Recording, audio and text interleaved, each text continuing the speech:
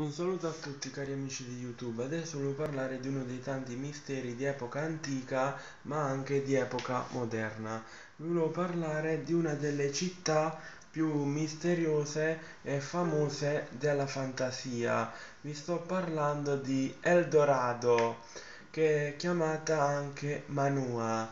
Questa città, come dice il nome, come la chiamano gli spagnoli, era una città tutta d'oro. Per tutta d'oro intendo dire che sia le strade che i marciapiedi, le case, i palazzi erano tutte in oro, ma Eldorado prende il nome anche dal re che regnava e governava quella città. Questo re che governava Eldorado era uso che si faceva i bagni prima di intingersi di una pellicola d'oro tutte le mattine per poi scrostarsela la sera prima di andare a letto. Per questo motivo il re di Eldorado era visto come qualcosa di divino, qualcosa di superiore, anche se era semplicemente una persona nobile che amava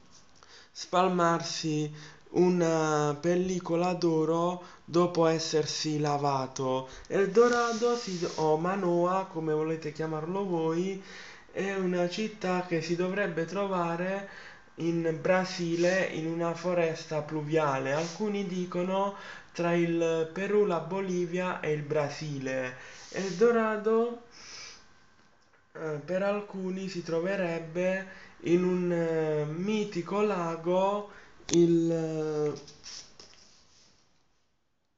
Primer, un mitico lago della foresta pluviale. Altri invece dicono che si trova all'interno della foresta pluviale in mezzo a tanti alberi secolari, però dovresti andare proprio a ficcarsi proprio in mezzo a tutta la natura più incontaminata, al centro della foresta pluviale si dovrebbe trovare Manoa, la mitica Eldorado. Molte persone sono state alla ricerca di questa famosa città tutta d'oro. Con l'oro ovviamente si fa di tutto, l'oro è simbolo di ricchezza, l'oro è il metallo più il metallo dei ricchi. L'oro viene chiamato anche lo sterco del diavolo da alcuni moralisti. Eh, lo, con l'oro si può comprare tutto, anche le anime del paradiso. L'oro è sempre stato il simbolo della ricchezza, il simbolo dell'abbondanza. Pensate che anche Giorgio I no, Giacomo I è stato alla ricerca di Eldorado, talmente era alla ricerca di questa mitica città che il giorno 29 ottobre 1618 purtroppo è stato decapitato nel palazzo di Westminster a Palace Hard, purtroppo. Perché come sapete la gente è crudele anche Tolomeo era convinto che esistesse una città tutta d'oro su un'isola tutta d'oro all'estremo oriente, proprio nel punto preciso dove sorge il sole, quindi a est. Tolomeo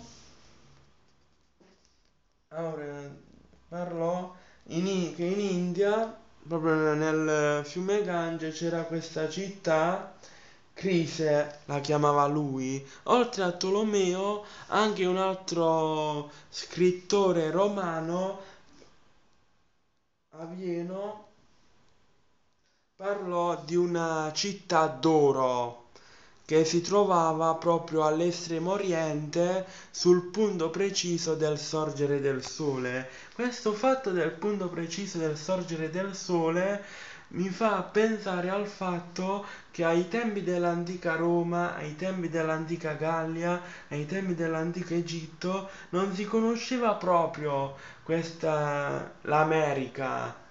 L'America è inteso come sia l'America del Nord che l'America del sud non era proprio conosciuta a parte i vichinghi perché come ben sapete i vichinghi hanno scoperto molto prima di Cristoforo Colombo e Amerigo Vespucci l'America e andavano con le loro barche, con le loro imbarcazioni in Canada per eh, andare a caccia o per raccogliere legname, di cui per i vichinghi il legname era qualcosa di sacro. Solo che i vichinghi non hanno mai scoperto il Dorado, però hanno scoperto altre cose, tipo Atlantide, che era l'America, e, e tante cose via dicendo. Prendete tutto quello che vi ho appena detto a pari di teoria o favola moderna, la scoperta di città completamente d'oro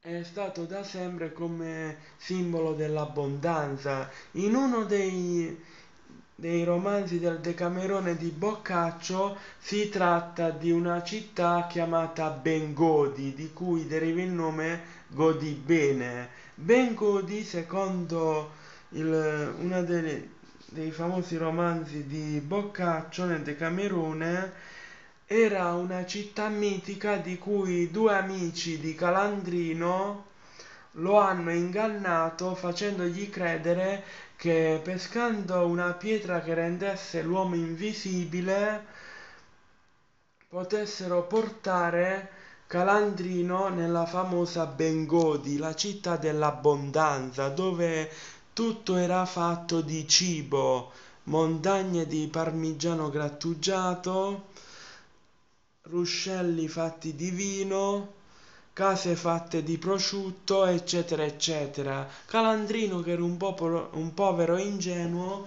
ci ha cascato, prese una pietra, gli fecero credere che era quella la pietra che rendesse invisibile, fecero finta di non vederlo più, lui tutto contento passò per la città, nessuno che lo vedeva, nessuno che ci faceva caso a lui, appena tornò a casa venne rimproverato dalla moglie, lui picchiò la moglie perché lui pensò che la moglie hanno il potere terribile e crudele di di eliminare qualsiasi incantesimo. Lui voleva assolutamente trovare Bengodi alla fine secondo lui era stato scoperto da quella tra virgolette strega di sua moglie dato che lui la picchiò la percorse perché pensava di poter trovare Bengodi Bengodi a differenza di Eldorado era fatta tutta di cibo e bevande mentre Eldorado era la famosa città sempre dell'abbondanza trovatasi in un mitico lago del Brasile di cui solo alcuni potevano arrivarci a volte vista come una città, a volte vista come un'isola d'oro. Bene amici, adesso con questo ho finito. Un abbraccio dal Gran Mitico.